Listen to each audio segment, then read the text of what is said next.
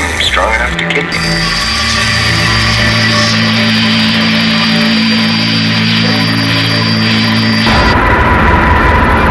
There's something inside every frightened person that's as solid as steel, and probably stronger.